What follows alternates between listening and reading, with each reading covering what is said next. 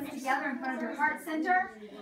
Hands are going to go up, leg comes up, and you balance. I'm going to count to ten. One, two, three, four, five, six, seven, eight, nine, ten. Check it out.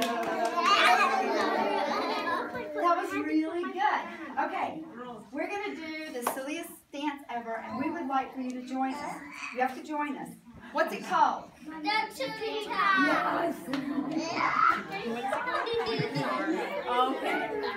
Okay, and you just have to listen. It'll tell us what to do. Please do it with us.